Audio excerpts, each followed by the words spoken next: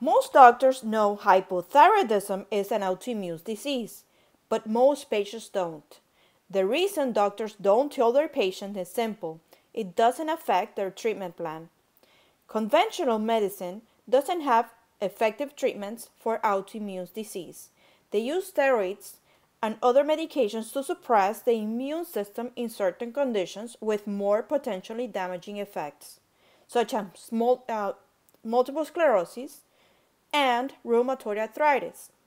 So, the standard of care for a Hashimoto's patients is to simply wait until the immune system has destroyed enough thyroid tissue to classify them as hypothyroid, and then give them thyroid hormone replacement.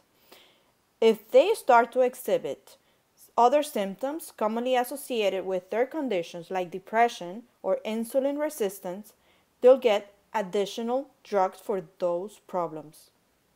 What the vast majority of hypothyroidism patients need to understand is that they don't have a problem with their thyroid, they have a problem with their immune system attacking the thyroid. This is crucial to understand because when the immune system is out of control, it's not only the thyroid that will be affected.